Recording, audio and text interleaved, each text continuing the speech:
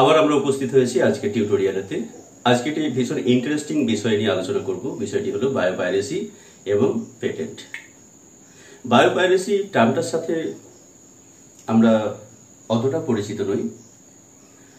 Biopiracy টার্মটা থেকে আমরা এটা বুঝতে পারছি যে এটি কোনো কিছু চুরি হয়ে যায়। অবশ্যই বায়োলজিক্যাল নলেজ কোনো উৎপাদিত বস্তু, জিন বস্তু, জীব ইত্যাদি সম্পর্কে কোনো দেশ বা জনজাতির যে অভিজ্ঞতা।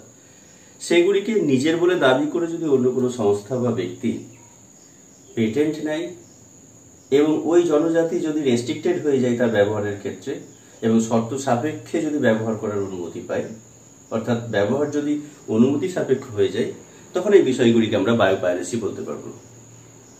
ক্লিয়ার বেশ।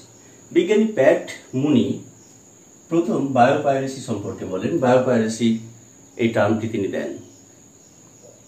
কাকে বলব? বায়োপাইরেসি না কোনো জীব বা জীব উৎপাদিত বস্তু কোনো পদ্ধতি জিন বস্তু যে দেশ বা জনজাতি ব্যবহার করে তাদের সম্মতি ছাড়া অন্যায়ভাবে পেটেন্ট করা বা নিজের বলে দাবি করাকে বায়োপাইরেসি বলব।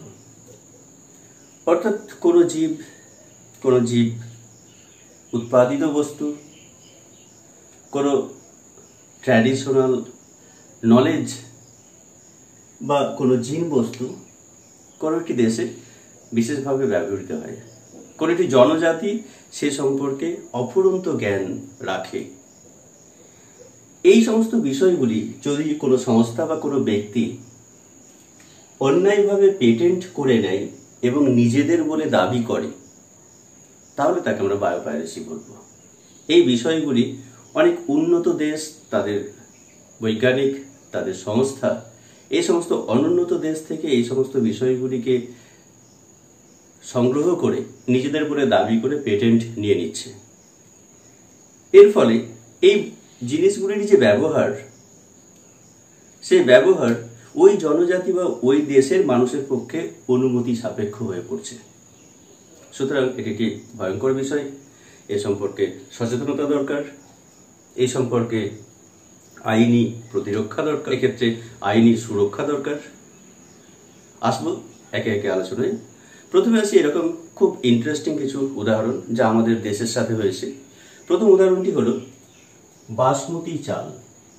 আমরা জানি আমাদের দেশের অর্থাৎ উত্তরাংশে, উত্তর ভারতের বিভিন্ন অংশে দীর্ঘদিন ধরে বাসমতি চালের চাষ এবং প্রসেসিং হয়ে আসছে। স্বাদে এবং গন্ধে অতুলনীয় এটি একটি চাল। টেক্সাসের রাইস টেক ইঙ্ক সংস্থা উনিশশো সাতানব্বই খ্রিস্টাব্দে এই বাসমতি ধানের সাথে একটি খর্ব প্রজাতির ধানের সংকরায়ন ঘটায় এবং একটি নতুন ধরনের ধান আবিষ্কার করে, যার তারা নাম দেন টেক্সমতি। এই টেক্সমতি ধানের, অর্থাৎ চালের, তারা পেটেন্ট সংগ্রহ করে। এটি একটি ইউএস এর কোম্পানি ফলে উনিশশো সাতানব্বই সালের পর থেকে এই টেক্সমতি বা এই ধরনের চালের উৎপাদন এবং প্রসেসিং ভারতবর্ষের এই সমস্ত জনজাতির কাছে অনুমতি সাপেক্ষ হয়ে পড়ে, যা খুবই অন্যায় একটি বিষয়। যদিও পরবর্তীকালে বিভিন্ন আইনি লড়াইয়ের মাধ্যমে এই পেটেন্টকে ক্যান্সেল করা হয়েছে এবং এই সমস্ত জনজাতিদের যে ট্র্যাডিশনাল নলেজ বাসমতি চাল উৎপাদনের যে জ্ঞান, তাকে সুরক্ষা দেওয়া হয়েছে। নেক্সট আরও একটি ইন্টারেস্টিং উদাহরণের কথায় আসি, সেটি হলো নিম তেলের ব্যবহার। আমরা জানি দীর্ঘদিন ধরে আমরা নিম গাছের বিভিন্ন অংশকে মেডিসিন পারপাস ব্যবহার করে আসছি। শুধু ভারতবর্ষ নয়, ভারতের, ভারতবর্ষের এই যে সাবকন্টিনেন্ট ইন্ডিয়ান সাবকন্টিনেন্ট, এখানেতে নিম গাছ অ্যাজাডির একটা ইন্ডিকা এটি হলো নেটিভ এই বিস্তীর্ণ অঞ্চলের মানুষ নিম গাছের বিভিন্ন অংশের যে ওষুধি মূল্য সে সম্পর্কে অবহিত।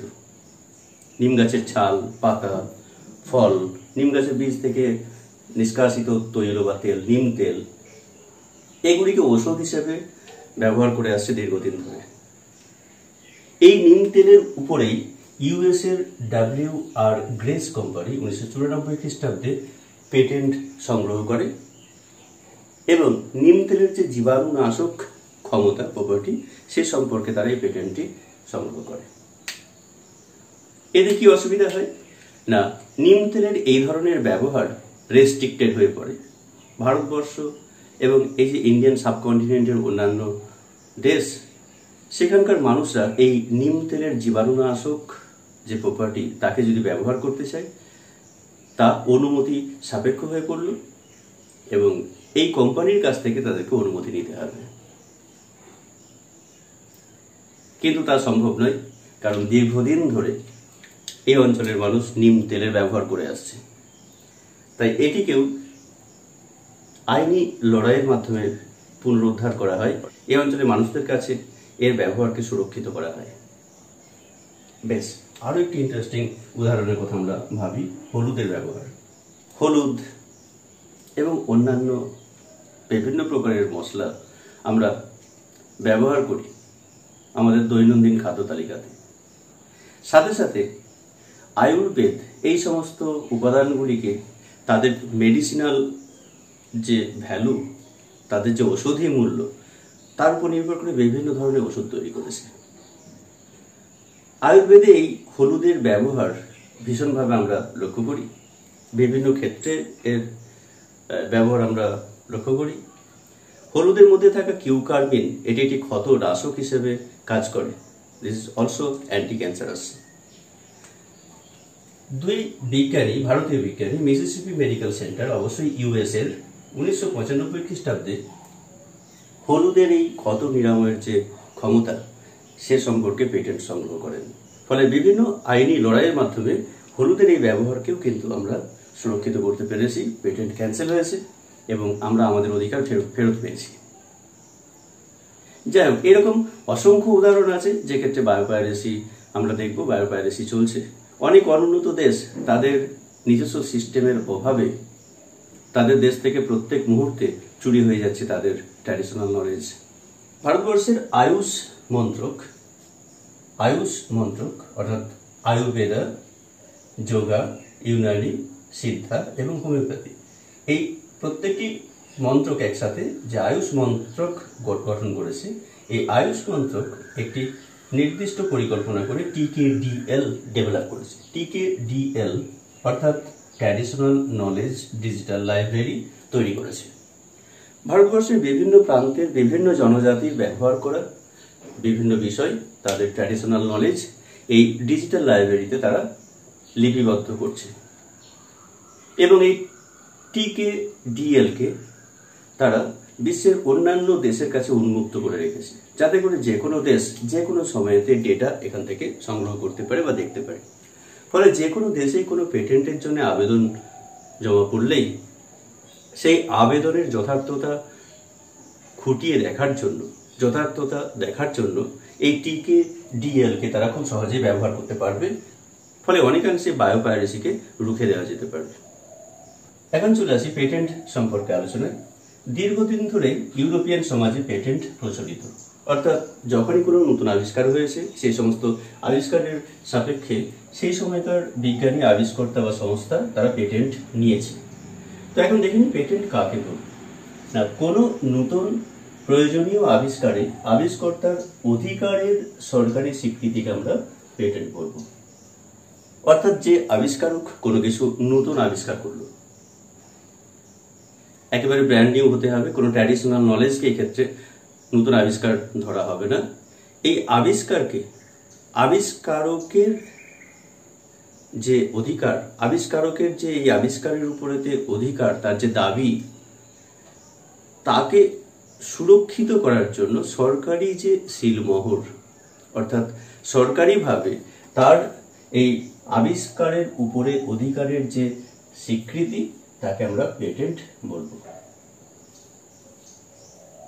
অর্থাৎ যে আবিষ্কার করল, সে ছাড়া আর অন্য কেউ এটিকে একটি নির্দিষ্ট সময় পর্যন্ত যে কোনো ভাবে ব্যবহার করতে পারবে না। ব্যবহার করতে পারবে তখনই যখন সে অনুমতি নেবে, অর্থাৎ অনুমতি সাপেক্ষে ব্যবহার করতে পারবে। সাধারণত এটি পেটেন্টের স্থায়িত্ব হচ্ছে কুড়ি বছর, পেটেন্টের স্থায়িত্ব হচ্ছে কুড়ি বছর। কিছু কিছু দেশের ক্ষেত্রে এই স্থায়িত্ব কিছুটা হেরফের হয়। কোনো কোনো দেশেতে এর স্থায়িত্ব সতেরো বছর, এবং ভারতে অবশ্যই এর স্থায়িত্ব আরও কিছুটা কম। অর্থাৎ এর স্থায়িত্ব দ্বারা আমরা বলতে পারি যে কুড়ি বছর পর্যন্ত আবিষ্কারক তার আবিষ্কারের উপরে অধিকার রাখতে পারবে।